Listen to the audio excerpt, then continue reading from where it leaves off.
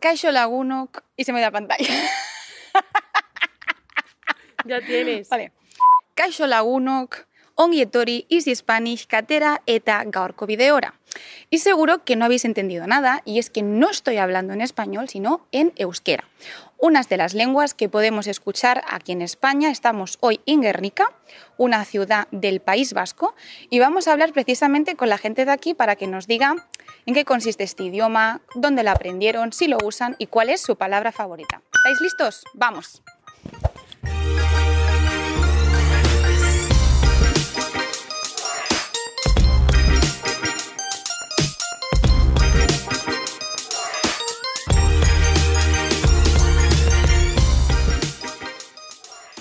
¿Hablas euskera? Sí, sí, sí, hablo euskera desde que empecé a estudiarlo desde los seis años. ¿Cómo que empezaste a los seis? Eh, yo no he nacido aquí, yo soy de la República Dominicana por parte de madre y, par- y padre vasco. Entonces viví allí, nací allí y con cinco o seis años vinimos a, a Guernica. ¿Hablas euskera? Eh, no, desafortunadamente. ¿De dónde eres? De Valencia, Eh, ¿Cuánto llevas aquí en, en el País Vasco? pues poco más de un día, la verdad. Ayer vine de Valencia y he estado visitando la zona.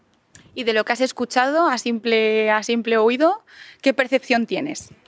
Pues lo encuentro un idioma muy particular. Eh, estamos acostumbrados a, las, a los idiomas más románicos y a mí este pues me parece muy gracioso. El leer los nombres de los menús de comida, cualquier cosa, pues me, me parece gracioso y bueno, me, da, me entra curiosidad también de, de aprender, bueno, de aprender, de entender un poco. Eh, ¿Por qué aprendiste euskera? Pues la verdad es que conocí a muchos, muchos amigos del País Vasco y siempre me había interesado pues también aprender la lengua y bueno, una amiga mía resulta que es profesora y entonces pues gracias, bueno gracias no, debido a que por el COVID es online las clases pues ya me metió y, bueno, ya, ya aquí estoy. En- a día de hoy, ¿en qué ambientes hablas euskera? No sé si en tu trabajo, con tus amigos, ¿cuál es tu idioma? Eh, normalmente es el euskera, eh, exceptuando pues cuando estoy con mi madre, que no ha intentado muchas veces estudiarlo y pues ya ha desistido. Y de vez en cuando pues sí que suelo, pues depende de los amigos, sí que hay gente que tiende más a hablar en euskera, entonces es algo natural y con otras personas pues eh, tienden siempre un poco al castellano. Entonces pues con ellos, eh, cuando ellos piden pues cambio al castellano y intento volver al euskera y así. Es la lengua con la, eh, en la que hablo con mis padres. ¿Con tus amigos o en otros ambientes también la hablas? Sí, bueno, depende siempre del ambiente y es curioso porque, por ejemplo, en el instituto no lo hablábamos eh, mucho, pero luego llegó un momento que nos dimos cuenta, claro, por qué no lo hablamos, ¿no? Y ahora, por ejemplo, con la mayoría de mis amigos y amigas eh, sí que lo hablo. En casa hablamos en euskera, con nuestros hijos también hablamos en euskera. Y luego en el trabajo depende, pues hay gente que, porque no todo el mundo sabe. Entonces con el que sabe, pues eh, si en general hablas en euskera y luego con el que no sabe, ¿no? Lógicamente. Y luego en la calle principalmente, pues hablas más bien castellano, es más bien el castellano. Soy de Valencia, hablo valenciano. ¿Y cuántos días llevas por aquí? Pues llevamos, creo que con este van seis y estaremos ocho. O sea, unos- Es, es por costumbres también, ¿eh? Hay gente que, aunque sepa euskera o castellano, o hablas euskera o hablas castellano, según lo que te dé. Entonces, si has empezado a hablar ya ¿no? en un idioma, cuando sigues la amistad, se sigue ese. Eso es, eso es. Es como te acostumbras también muchas veces, eso es. Venimos de Girona y hablamos catalán, castellano y euskera, bueno, es que ricasco, cacho, agur, solo. No, no, no, yo no hablo nada. Pues ya hemos aprendido algunas, ¿eh? ¿Qué te está pareciendo el euskera? Simple, eso, a- como primera toma de contacto. Si te digo la verdad, mucha K. Bastante difícil, mucha K. Sí, ¿no? Sí, todo me suena a concas. ¿Crees que es necesario eh, hablar euskera para llevar mejor el viaje o, o no? A ver, yo, por lo que estoy viviendo, nos atienden siempre en castellano, así que no es necesario, porque en cualquier lado te van a atender en castellano también. Eh, ¿Qué os parece así a simple vista el idioma? ¿Cómo os suena?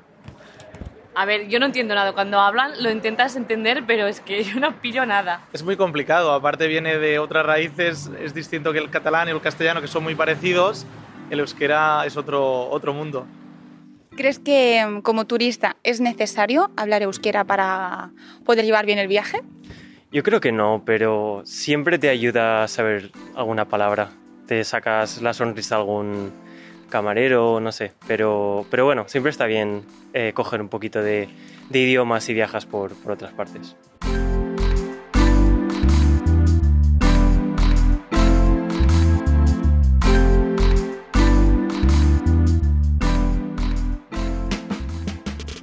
Y es que aprovecho para decirte que si quieres dar un salto en tu aprendizaje con el español, es un buen momento para que conozcas nuestra comunidad en Patreon. Formando parte de Patreon tienes muchísimas ventajas. Por ejemplo, recibir ejercicios de cada episodio, puedes hacerte con eh, mucho material que tenemos detrás de cámaras y además ahora también tenemos una membresía para nuestro fantástico podcast. Te dejamos toda la información aquí arriba.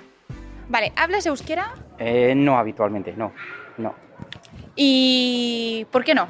Eh, porque no lo aprendí en su momento. Nací en Bilbao, nací con la dictadura y el tema era que no, no daban euskera hasta más adelante. Entonces ya cuando lo empezaron a dar yo no soy bueno para idiomas y ahí me quedé atascado en Eh, idiomas. Es, es interesante, ¿crees que es un idioma difícil de aprender? No lo creo, es la capacidad que tenga uno. O sea, yo tengo otras actitudes y para el, para el idioma no se me da, tampoco se me da el inglés. Entonces eh, entiendo que, que los idiomas eh, son actitudes también o, o formas, pero no, no me parece difícil. ¿Es difícil de aprender? Eh, sí, sí, sí. la verdad es que sí, un poquillo. Pero bueno, realmente es una lengua muy interesante y, y si te gustan las lenguas, pues, pues es súper interesante.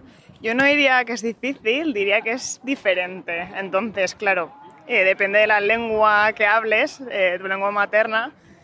Aprender una lengua que no se parece en nada, claro que es difícil, ¿no? Pero es como si tú hablas una lengua románica, aprender otra lengua románica es mucho más fácil.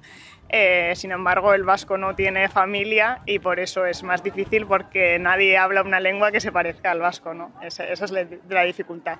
Aunque vosotros habláis euskera, ¿no? Eh, ¿Creéis que es un idioma difícil de aprender para alguien que, que dice, mira, me voy a aventurar? Sí, sí, sí, sí, sí, sí. Tienes que partir de cero. Y ya te digo, siendo niño todo se aprende como una esponja, pero ya a partir de cierta edad, porque sabemos de gente que igual lo ha intentado y, no ha sido capaz de igual aprenderlo, es difícil de aprender, sí. Difícil no es. Eh, siempre, bueno, eso de que una lengua está difícil o fácil de aprender es un prejuicio lingüístico. Eh, todo, se, todo está en las ganas, el- eh, la motivación que tiene cada uno y después también eh, utilizar la lengua materna o la primera lengua, las lenguas que se sepan para coger estrategias y aprender euskera. ¿Sabes cuál es su origen o de dónde viene?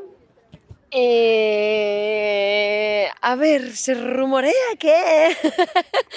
bueno, hay algunas teorías y, y bueno, eh, pero la verdad es que creo, no estoy segura, que, que ninguna de ellas es cierta y no se sabe bien bien.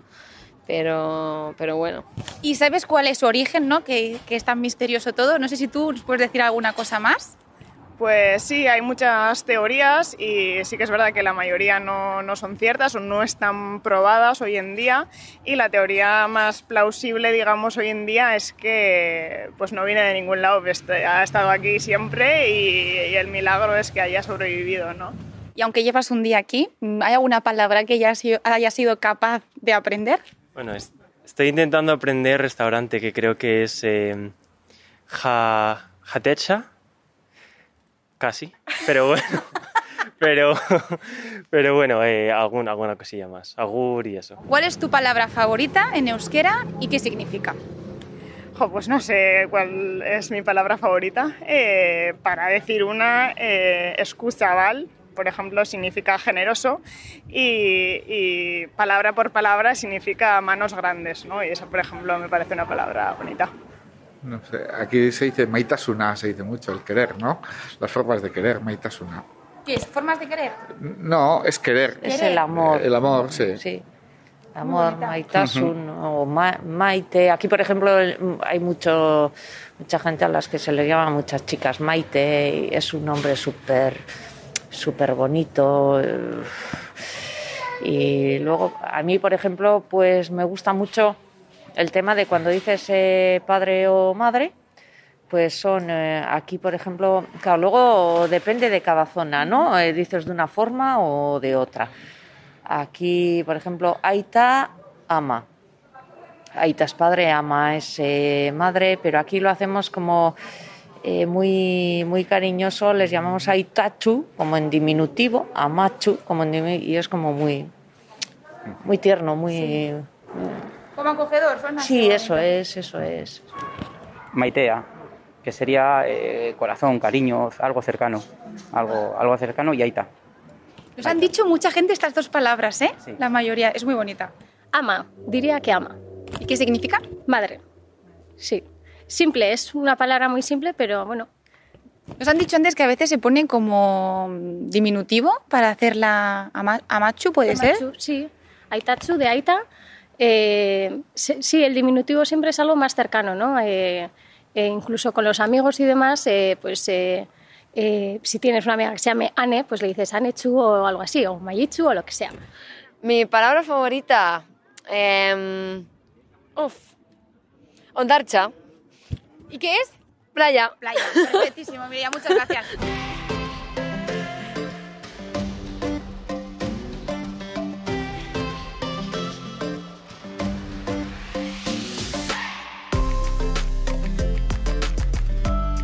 Y hasta aquí nuestro fantástico episodio sobre el euskera. Espero que hayáis disfrutado tantísimo como nosotros y hemos aprendido muchas cosas. Primero, que el euskera parece ser que es un idioma difícil, que hay mucha gente que no tuvo la oportunidad de hablarlo o que no le dejaron.